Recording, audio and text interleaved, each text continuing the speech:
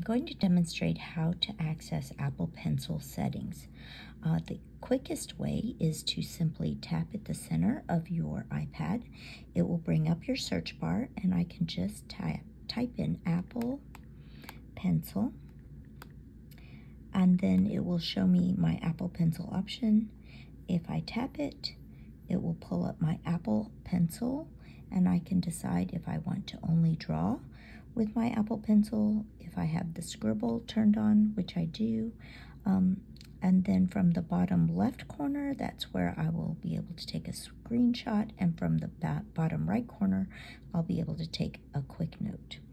Okay, and you can toggle those on. So to demonstrate, I'll take my Apple Pencil, and when I move up from the bottom left corner, that will take a screenshot and bring out all of my editing options here below for a photo. So I'm able to use my pencil and mark up what I need to or use a pen and scribble or I can use a highlighter and highlight um, as well as bring up my roller. So, so many different options. Alternatively, if I swipe from the bottom right corner,